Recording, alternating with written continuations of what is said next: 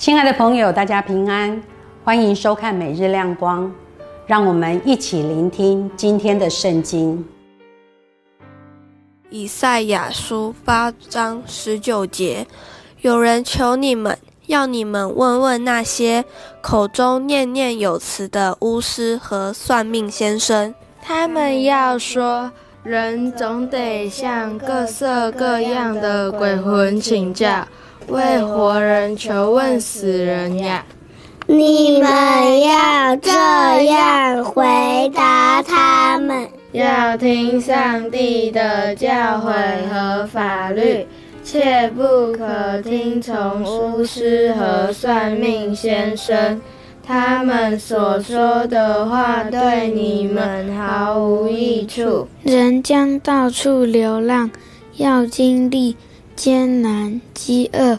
在他们饥饿的时候，他们会发怒咒骂他们的国王和上帝。他们会望着天空或凝视地面，但是什么也看不见，只有患难和黑暗。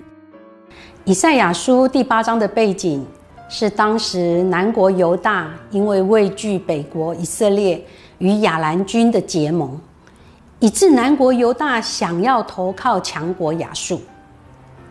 一向领受上帝赐福带领的南国犹大，面对联军的恐惧中，以自己的说法和方式来说服自己，可以用自己的方式来寻找解决之道。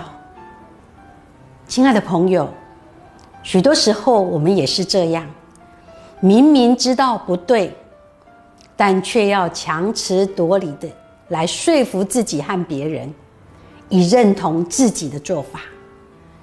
有两位兄弟为了抢一支玩具枪，正打得不可开交。这时，虔诚基督信仰的父亲在一旁看了，说：“别打了。”难道你们忘了圣经上教导我们要爱我们的仇敌这句话吗？